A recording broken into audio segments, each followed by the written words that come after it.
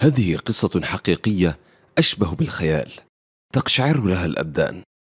فلقد استيقظ السلطان سليمان القانوني من النوم فزعا مما رآه في منامه فنادى على حرس من حراسه المقربين وقال له جهز لنا الخيل سوف نخرج اليوم متنكرين لنرى شؤون الناس عن قرب. وبعد أن خرج هو وحارسه فقط مر من أمام جثة رجل ملقاة في أحد الشوارع ولا أحد من الناس يقترب منها. فسأل السلطان بعض الناس جثة من هذه؟ فقالوا له إنها جثة رجل زان وشارب للخمر وليس عنده أولاد أو أهل غير زوجته ولا أحد من الناس يقبل أن يدفنه. فغضب السلطان وقال أليس من أمة محمد صلى الله عليه وسلم؟ ثم حمل السلطان جثة الرجل وذهب بها إلى زوجته فما كان منها إلا أن بكت بكاء شديدا. فتعجب منها السلطان وقال لها لماذا تبكين وزوجك كان زانيا وشاربا للخمر؟ فقالت له إن زوجي كان عابدا زاهدا لله غير أنه لم يرزق بأولاد.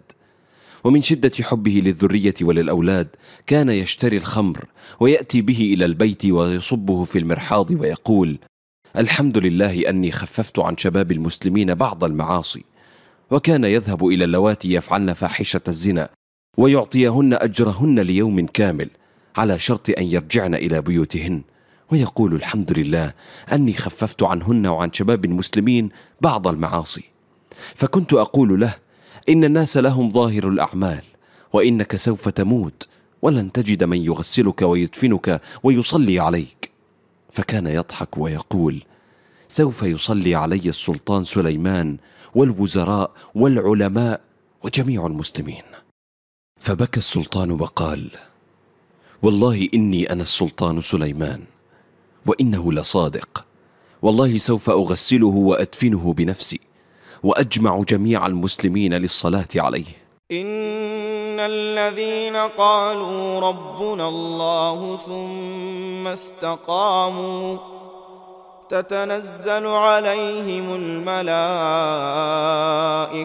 ألا تخافوا ولا تحزنوا وأبشروا بالجنة التي كنتم توعدون نحن أولياؤكم في الحياة الدنيا وفي الآخرة ولكم فيها ما تشتهي أنفسكم ولكم فيها ما تدعون نزلا من غفور رحيم.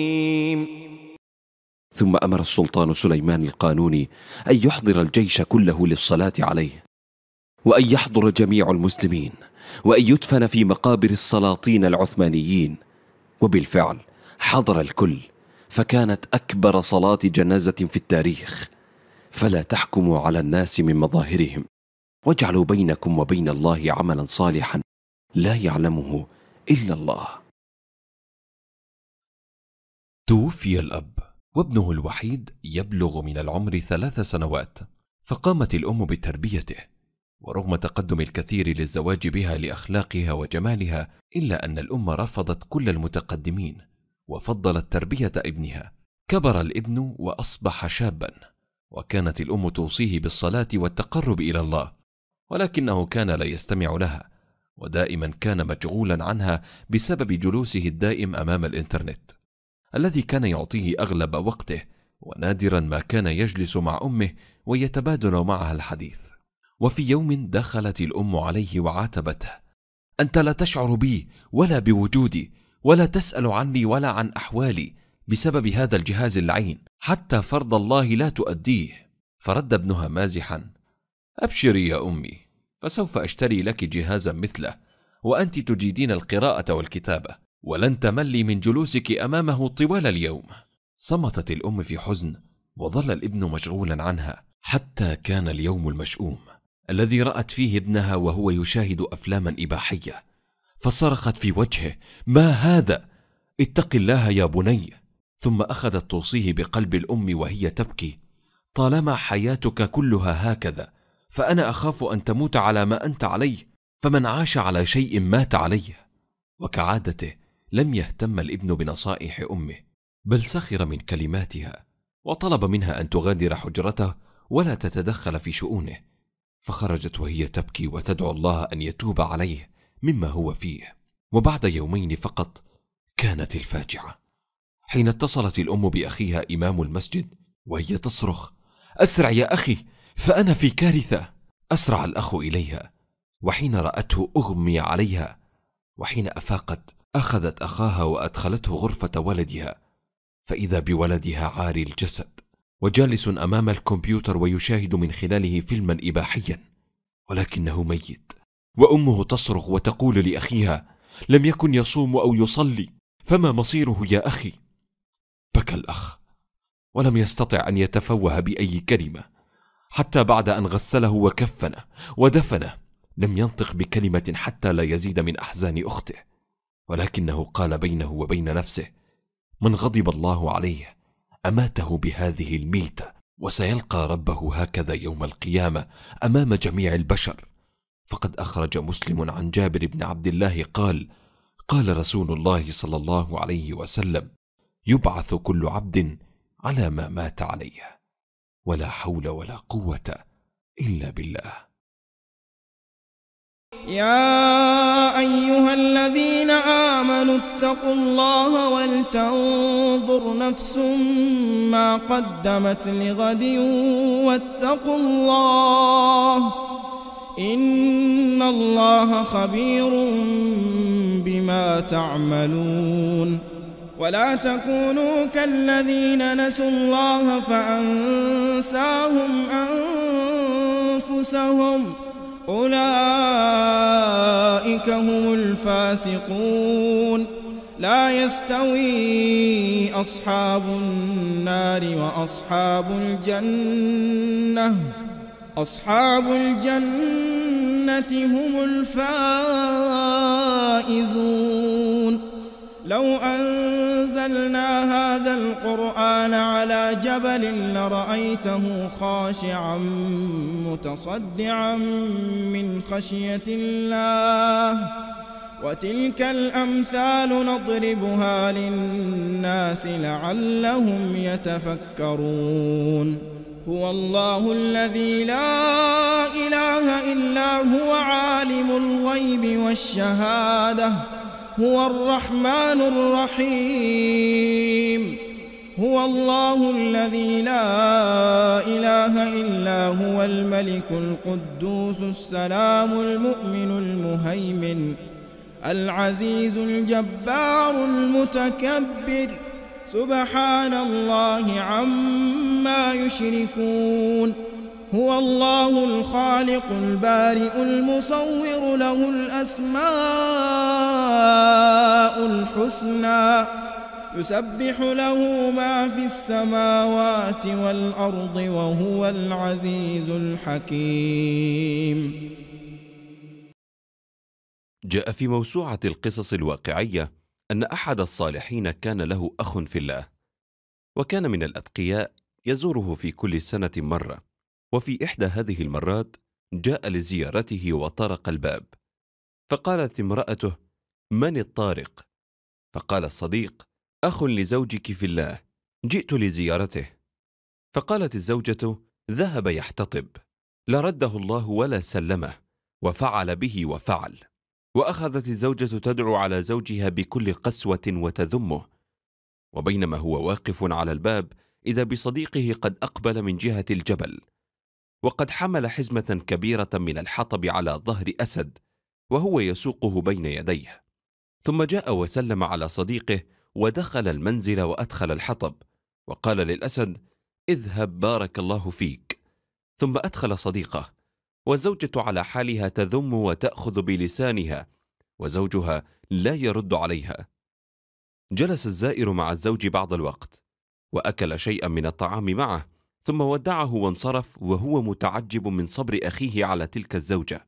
فلما كان العام الثاني جاء نفس الصديق لزيارة صاحبه ولكنه أراد أن يلتقي به عند الجبل ويشاهده وهو يضع الحطب على ظهر الأسد مثل المرة الماضية. ولكنه تعجب عندما شاهد نفس الأسد من بعيد في غاية القوة والشراسة.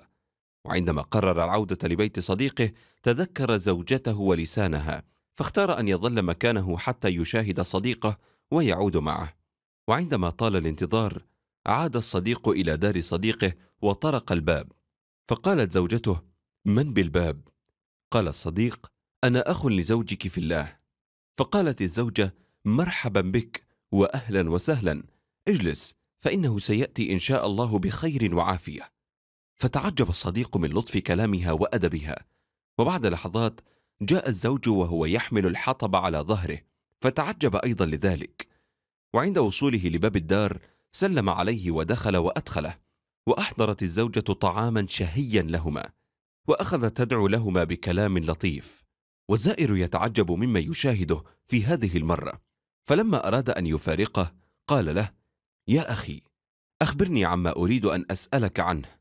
في العام الماضي أتيتك فسمعت كلام زوجة لا أستطيع أن أصفها مخافة حساب الله ولكنها كانت تذم كثيرا.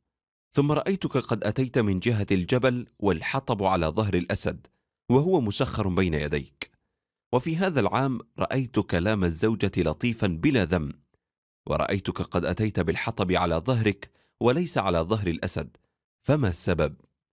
قال يا أخي توفيت تلك المرأة وكنت صابرا على خلقها وما يبدو منها. كنت معها في تعب وأنا أحتملها. فكان الله قد سخر لي الأسد الذي رأيت يحمل عني الحطب بصبري عليها واحتمالي لها. فلما توفيت زوجتي السابقة تزوجت هذه المرأة الصالحة وأنا في راحة معها فانقطع عني الأسد. فاحتجت أن أحمل الحطب على ظهري لأجل راحتي مع هذه الزوجة المباركة الطائعة.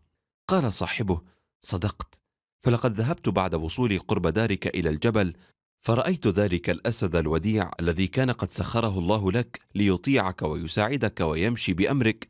لقد رأيته في غاية القوة والشراسة يفتك بالحيوانات ولا يرحم منها أحد. فعدت سريعا إلى دارك خوفا منه. قال الزوج وإذا رآني الآن ربما افترسني بعدما كان يأتي إلي دون أن أطلبه بل كنت أنام بجواره وأنا آمن مطمئن. كل شيء يا أخي بيد الله. يسخر من يشاء لمن يشاء وقت ما يشاء.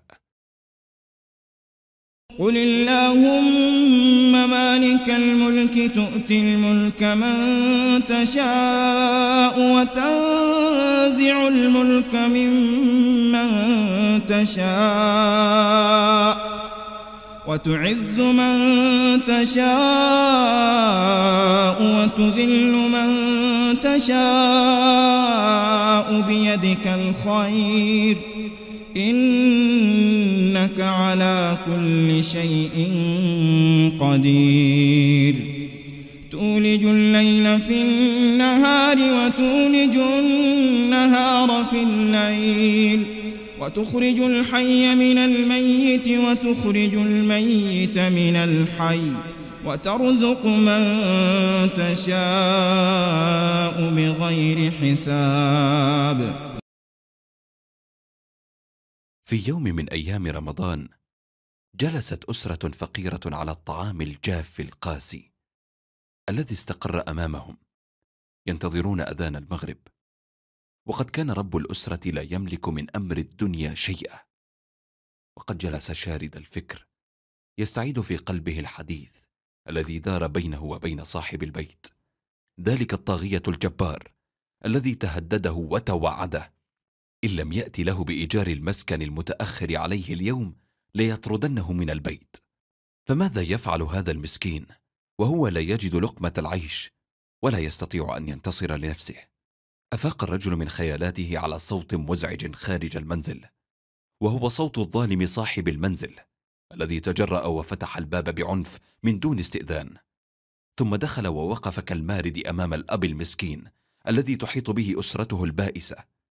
ومن غير كلام ولا مقدمات تناول الطاغية ذلك المسكين وأخذ يسبه ويشتمه ويركله بقدمه. وارتفعت أصوات أسرة المسكين تبكي وتنوح وتقول حسبنا الله ونعم الوكيل.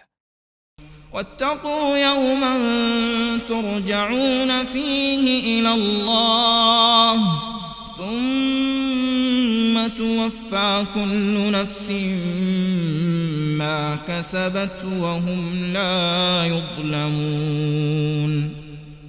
وبعد ألم شديد ألحقه الطاغية بالمسكين خرج متكبرا بعد أن أخذ كل ما تملكه الأسرة من أثاث قديم. وترك صاحب الأسرة الفقيرة كالميت. وانطلق صوت المؤذن لصلاة المغرب وهو يقول الله أكبر! في أول يوم من رمضان وعند وقت إجابة الدعاء فرفع المظلوم يديه إلى السماء ثم قال اللهم انتقم منه اللهم انتقم منه. ثم استغفر الله وأكثر من قول لا حول ولا قوة إلا بالله. وما هي إلا ثلاثة أيام وإذ بذلك الظالم يشكو من ألم في ساقه فينقل إلى المشفى. وبعد الأشعة والتحاليل قرر الأطباء أنه مصاب بمرض السرطان وأنه لابد أن تبتر قدمه وإلا انتشر السرطان في رجله. وبعد عشرة أيام خرج من المستشفى بقدم واحدة لا يستطيع المشي عليها وكانت المقطوعة هي القدم التي ركلت وضربت المظلوم. فأخبرته زوجته أن ما حدث له كان بسبب دعوة الأب المسكين الذي اعتدى عليه وأهانه وسط أسرته ولم يرحم فقره أو حاجته وذكرته بحديث الرسول صلى الله عليه وسلم الذي يقول فيه اتق دعوة المظلوم فإنها ليس بينها وبين الله حجاب. وأوصته بالذهاب إلى هذا الأب وطلب العفو منه وإرضائه وتعويضه عما أحدثه به من سب وضرب وإهانة واستيلاء على أثاثه البسيط الذي لا يملك غيره. ولا تستوي الحسنة ولا السيئة ادفع بالتي هي أحسن. فإذا الذي بينك وبينه عداوة كأنه ولي حميم. وما يلقاها إلا الذين صبروا. وما يلقاها إلا ذو حظ عظيم. اقتنع صاحب البيت بكلام زوجته وما كان منه إلا أن أحضر لأسرة المسكين أثاثا جديدا وتنازل له عن سكنه بلا مقابل ثم ذهب إليه وقبل يده وبكى أمامه ليغفر له ويسامحه. الداعية الصغير. يقول الدكتور عبد الرحمن الصميت الطبيب الكويتي والداعية الإسلامي الكبير في إفريقيا والذي هدى الله على يديه ما يزيد عن ثلاثة عشر مليون إنسان للإسلام. يقول كنت أقف ذات يوم فوجدت سيدة إفريقية تبكي وتتوسل لأحد الأطباء القائمين على مساعدة الأطفال الصغار وعلاجهم في بعثتنا في إفريقيا. وقد تأثرت لشدة إصرار الأم وتمسكها بتحقيق مطلبها.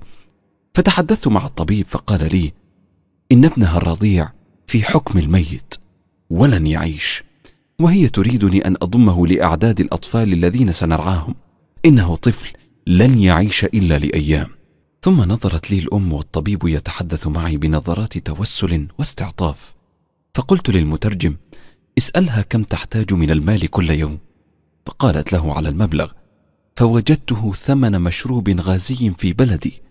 فقلت للمترجم لا مشكلة سأدفعه من مالي الخاص وطمأنتها وأعطيتها مبلغا من المال وقلت لها هذه نفقة عام لابنك. ثم أشرت إلى أحد مساعديني وقلت لها عندما تنفذ النقود هو سيعطيك ما تحتاجينه. ووقعت لها على صك لتصرف به المبلغ المتفق عليه. وتمر الشهور والسنوات وقد نسيت الموضوع برمته.